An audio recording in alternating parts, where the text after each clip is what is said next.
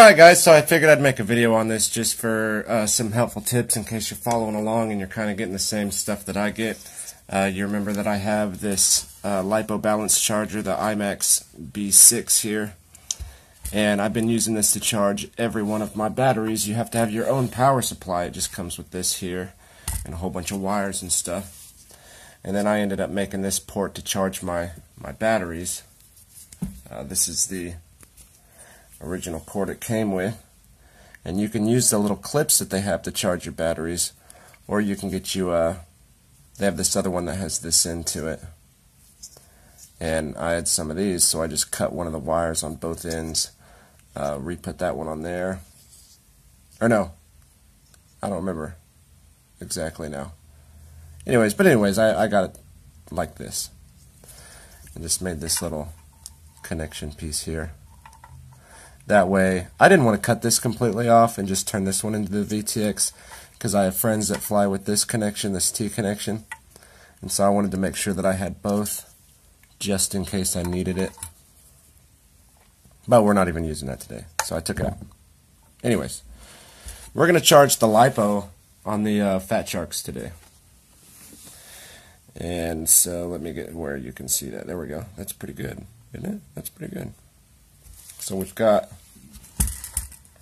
our Fat Shark here.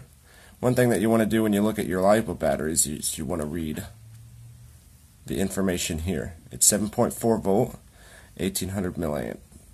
Here's the thing about these. Usually, when you're charging something like this,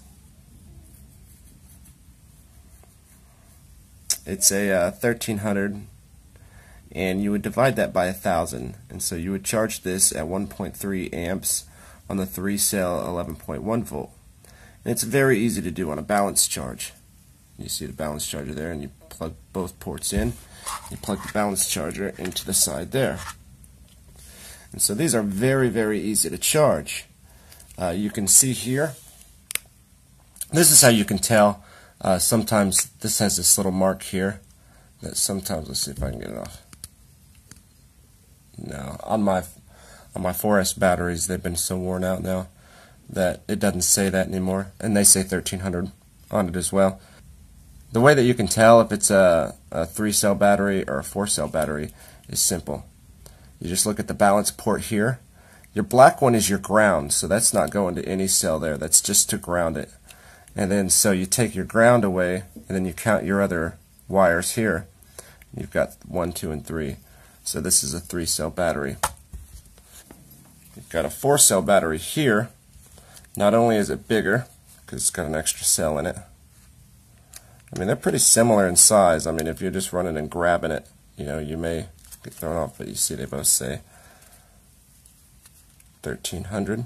And this one's been rubbed off on the four cell, so you, you can't really tell. It all says the same thing on the front, except for where it's earmarked for the, the cell. So what I would do with this to make sure, for one, I know just by the feeling of it that that it is, but in case you were having trouble, there's the ground. So then you just count these one, two, three, and four wires other than the ground, and that's a four cell battery. So it's fairly easy to figure it out. Ooh, this thing's kind of puffy. I just got done flying it, so those are those. Very, very simple. Very easy. So you just go in here, you just make sure that you're on your LiPo and you hit enter. And then this pops up. And then that 1300 you divide by 1000 and you would get 1.3. And then you'd come over here and pick the uh, 1.11 uh, 3S.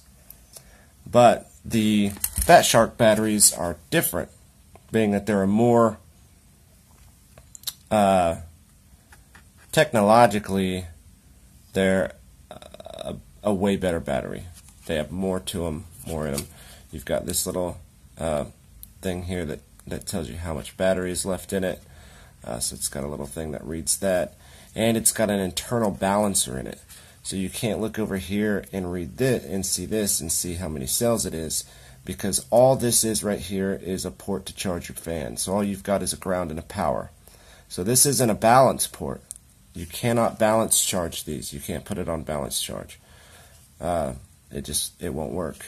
And and so when you're reading this stuff here, you're not going to see a three cell or a four cell or anything like that because these just that's not how these are made. Uh, I'm not sure how many cells they actually are. I think they're two cell batteries, but I'm not 100% sure. Uh, the numbers that you're going to be paying attention to are these two numbers right here. And in the IMAX B6 charger, the only 7.4 volt is a, a two cell. So uh, you don't have you just got to worry about making sure that you're on on on that. Um, with the 1800 milliamps per hour, uh, I wouldn't. I mean, you can you can you can do it at 1.8. I'm pretty sure.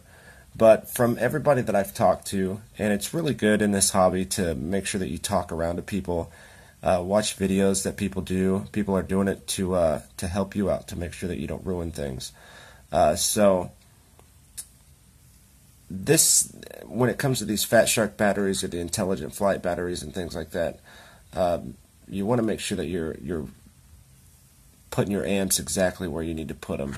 And for these ones, I would suggest putting them at 1.0 amps uh, instead of 1.8. You can do 1.8, I'm pretty sure, and I've seen people do 1.8. Um, but 1.0 seems to be what everybody's going with. Uh, it's safe, and, and everybody's batteries are lasting. You got to remember that these LiPo batteries are very sensitive. They can cause a lot of damage and things if you do stuff wrong with them. So you've got to treat these things with care. Not only that, but they're pretty expensive, so you want to make sure that you're not ruining them and constantly buying new batteries and stuff. So we're going to go ahead and charge this. The Fat Sharks come with this plug-in right here. It doesn't come with a charger, it just comes with this little thing here, which is awesome because if you notice on the other it's the same thing. So I think this was made specifically for lipo chargers. Not maybe maybe not necessarily this one because there's other lipo chargers uh, besides this one, but uh, it was definitely made to be done on a lipo charger. I'm gonna stick these behind this that way we can keep that propped up so you can read it. Okay. So what we're gonna do, we're gonna go ahead and back out all this. Now we've got this here. Oh wait, this is your main screen here. And you can do it on the LiPo battery because it is a LiPo battery. And I've seen people do it on the NIMH battery. It's a nickel something or other. I don't know. I've never charged anything on it, but I've seen other people charge it on this using this charger. And it's very simple to do. But we're not going to charge it like that. Uh, you want to charge it like this if you have trouble charging it as a LiPo. I guess some people have had trouble charging it as a LiPo. Uh, but I don't, so we're not going to do that. No, it's the nickel D battery. Sorry, I apologize. I'm pretty sure. It's one of them. God damn it. I don't do it, so I don't know. Alright, so we're going to go to LiPo battery. Hit enter. Okay, and then you want LiPo charge. Now if you flip through here, you're going to have LiPo discharge, LiPo storage, fast charge, balance charge. This is where you this is the one that you want to be in for your regular batteries. This is the the charge that I typically charge my batteries in. Um, and I've seen people go into the programming and stuff in the settings and, and turn off the balance charge. But you actually don't have to do that because you're not balancing balance charging it. So don't put it on balance charge. Keep going until you just get to regular lipo charge right here. Now we're going to go ahead and hook this part in here like that. And we're not going to plug the the balance in because it's not a balance.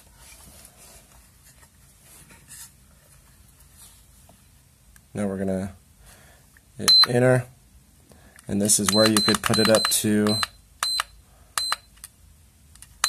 18 if you're going along that and you can do that if you would like but just to be on the safe side I'm going to do what everybody else does you know, people in this community are trying to help you save your battery.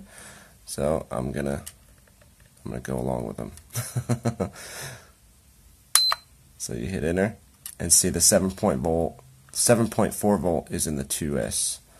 So the lowest this goes is a 1S is 3.7 and then the next one up is the 11.1 which is a 3S. So you're going to do it at the 7.1 volt, hit enter, enter and hold. Now it's checking the battery. So it says it's good to charge it. It says enter. You hit enter. There you go. Now if you hit this, it's not going to show you when you're balance charging it. It shows you your different cells uh, and what volt it's at. But since we're not balance charging it, that's not going to matter. So, in power voltage, it's not all the way dead. And I should have waited for it to die all the way. But, I'm not worried about it. One time charging it like this, just make sure that uh, if you're doing this, I'm going out to fly here in a bit, and I'm going to be flying for a while, so I want to make sure that I have a full battery and I don't have that much time to charge it. Uh, so that's the only reason I'm doing this.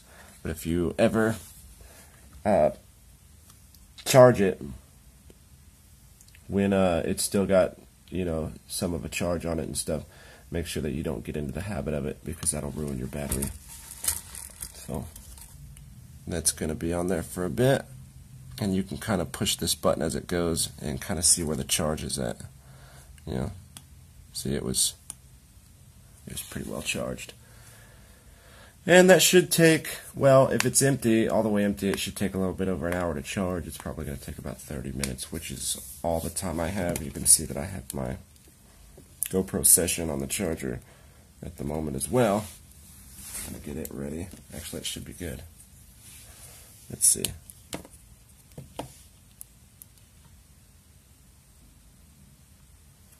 Oh yeah, fully charged. So I'm going to go ahead and take this off.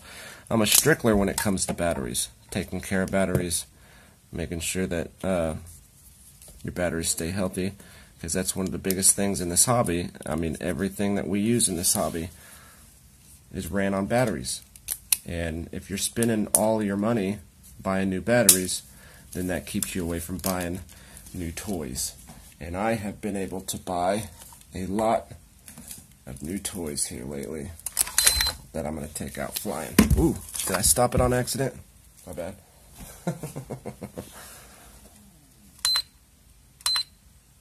oh, no, I didn't. Good. I just hit the button. Anyways, I'm going to get this charged. I got to charge that 4S.